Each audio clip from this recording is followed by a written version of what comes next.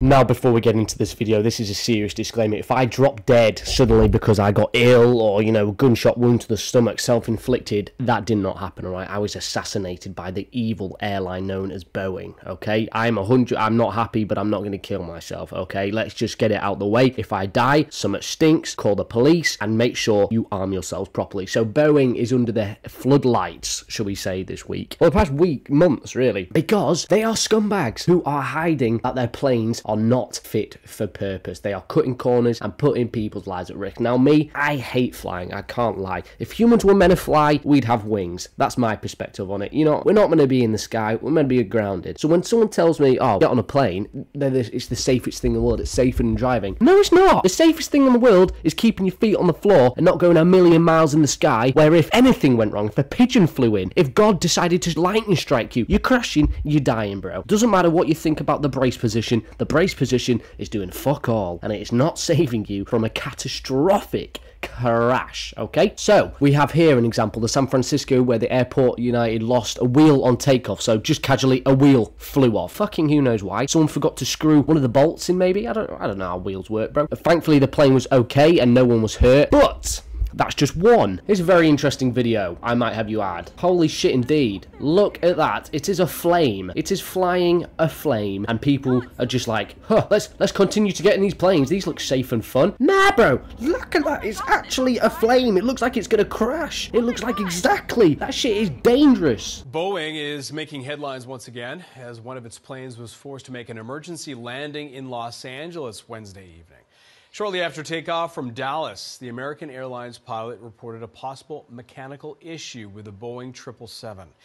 The plane made a safe landing at Los Angeles International Airport and was able to taxi the gate on its own where it was met by emergency crews. There are no reports of any damage or injuries. No reports of damage. Bollocks, mate. They had to make an emergency landing because something flew off. They just never, you know, a business is never going to report, oh shit, we had a bit of trouble because then people wouldn't use them. People wouldn't get on them. You would never get in a car that eh, someone, the business said, yeah, unfortunately, a couple of our cars have been just exploding. We don't know why. It's just kind of weird, but still buy them. They're okay. You know, it's only one in two. The chances of these cars blowing up are so small. Every day I'm reading that these Boeings are, are, are, are falling apart in the sky. You know, I like I said before, I hate flying. So to get on a plane, it you know, it's a week of stress leading up to this. I'm like, oh my god. All these articles I've read over these TV shows. Am I gonna crash and die? Because honestly, I'd rather just get shot in the face. If I'm meant to die tomorrow, don't make it be in a plane. You know, I don't want some cool superhero like lands on an island like the arrow and stuff and survives and becomes a hardened vigilante bad. I don't want that dude. I want a nice peaceful life where I don't have to crash on an island and scavenge for survivals. This isn't the forest. I don't want to find some death cult that want to eat my brains and cut my limbs off and, you know, sacrifice me to their god. I don't need that. Another one, 787-800 landing in Oregon. Notice these are all in America, so that's a positive. Uh, not for Americans, but because I'm not in America. So apparently it landed safely at 1.45pm on Friday. All passengers and crew were fine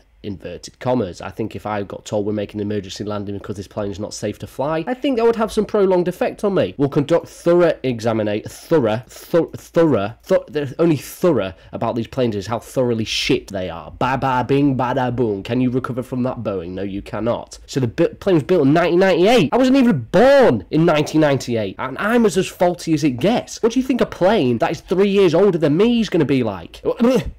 You know what I mean? You don't have to be a fucking aerospace engineer scientist to understand. It's probably not the fucking best thing to get in. Ugh, God. This shit's scary though. This shit is terrifying. Because everyone has to get in planes, you know. I'm not home. I'll need to get in a plane if I want to get home. I'm going to have to get so pissed I don't remember the plane journey because I'll be terrified thinking that we're going to die and crash and, you know, explode into a thousand pieces. That's not what you want. Not what you want at all. And do you want to know the stinkiest thing? John Barnett. You know who he is. The man who was trying to expose them for basically skipping corners, taking the cheap route, shall we say, always trying to save a buck. Well, he told his friends and family, I ain't scared. But if anything ha happens to me, it ain't suicide. And guess what happened to him? Huh. I don't know. This isn't the films though, so I'm sure he's still alive and happy and trying to, you know, expose Boeing for who they are. Nah, bro. The man died from a self-inflicted gunshot wound. Officials declared his death was a suicide. How thick must you be to be an official and claim it's suicide? If I was a police officer then, I swear on my granny's life, and I love my granny until, you know, I would kill for her happily. He did not commit suicide. He's been killed by Boeing because he was about to expose them, skipping corners, skip, you know, he was in the Netflix documentary documentary. He was actually part of it, a quality manager. He was going to expose them because he was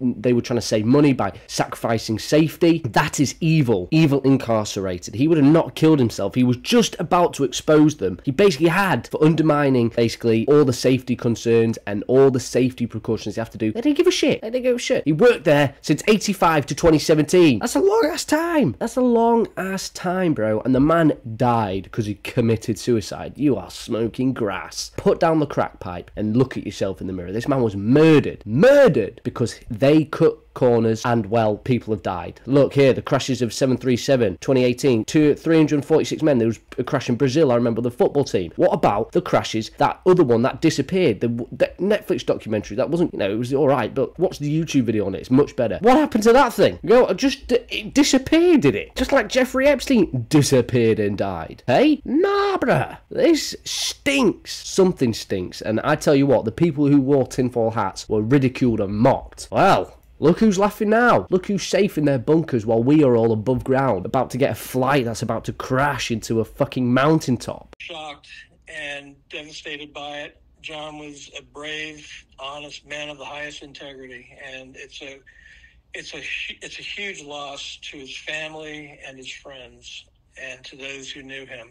Um, you know, as I mentioned before, John never met a stranger, and he was just a just a great individual and he had the courage to do the right thing. And unfortunately, uh, at the end of the day, it's it's cost him the ultimate price.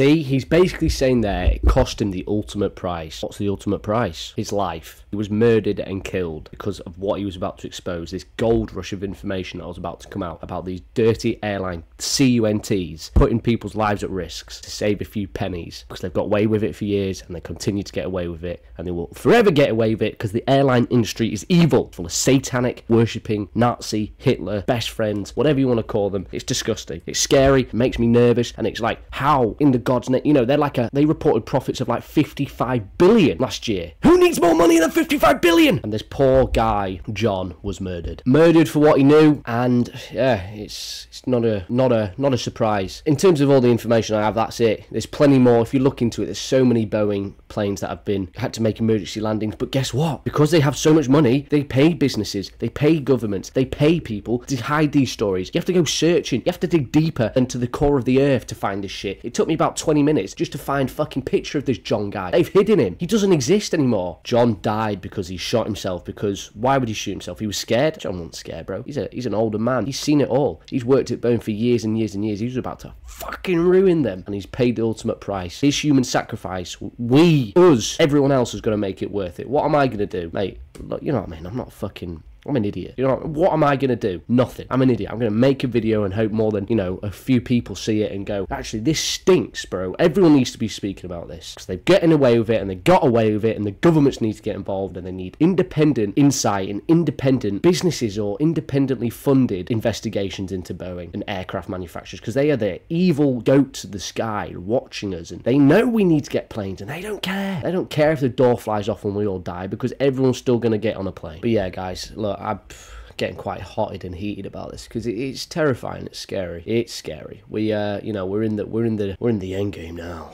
You know what I mean? We truly are. And, you know, this guy's paid the price. There he is. Poor guy. He tried exposing everyone that, you know, I wonder who killed him. Boeing obviously killed him, but, you know, who? Did they hire a hitman? Do hitmen exist? This isn't Agent 47 shit. Like, who killed him? I need to know. And who authorized it? That's what makes you want to know. Like, because Boeing obviously they'll have a board. Who, you know, did they all go right? We'll get him. We'll get him whacked. Because I guarantee one person wouldn't have agreed and will expose it. But surely it was just maybe one guy at the top. Evel Knievel, the puppeteer. Yeah, get him whacked. You know, Breaking Bad style shit. Murdered, hidden. You don't know about it, but yeah. John, I'm sorry, brother. You you, you couldn't live to see your your efforts turn to fruition, but I promise you they will be exposed for the bullshit and the misery that they cause. And yeah, it's sad. Rest in peace, John, brother. Appreciate your attempt, but we got to keep it going, guys. Do not let this shit fizzle out like a wet fart. This isn't a sparkler that your dad bought for bonfires night. That was one pound, you know, one dollar. This isn't a piece of shit cheap thing. This is important. This is people's lives and money, corporate pig suits. You know what to call them. Pigs in suits. Say that before and I've said it again. Get him arrested, man. Get him arrested.